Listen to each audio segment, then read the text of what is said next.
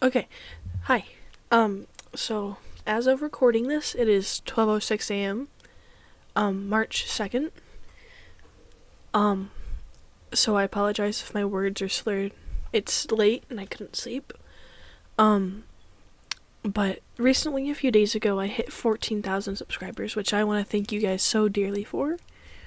Um I want to apologize for my recent hiatus, my semi hiatus that has been going on recently. I have been mostly focusing on school and trying to get where I need to be in life. I'm trying to get my life situated as well as do YouTube. And um with that being said, the past 3 months I've been on semi hiatus. I've reached over I'm pretty sure almost 2000 subscribers if I'm not mistaken. And I would like to say thank you to everyone who's been out here and supporting me throughout my journey of doing audios. Um, as you all may notice, there, there there's going to be a few changes, or are already a few changes implemented into the channel. Um, I don't plan on doing as many anime ASMRs. I plan to just continue doing girlfriend audios and comfort of that sort.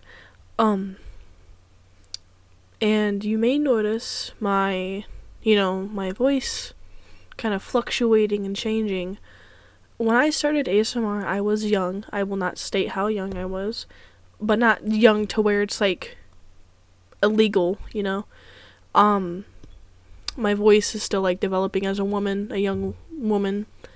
Um per se cuz young woman means multiple different things to multiple different people. So whatever that means to you, just know that I'm legal and what I'm doing is not illegal, so that's all that matters.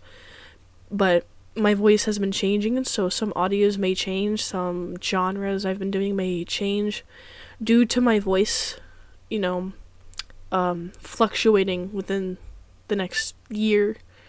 Um, I'm not taking any hormones if you may like suggest that that's the case, which is not. I just figured I'd put that out there.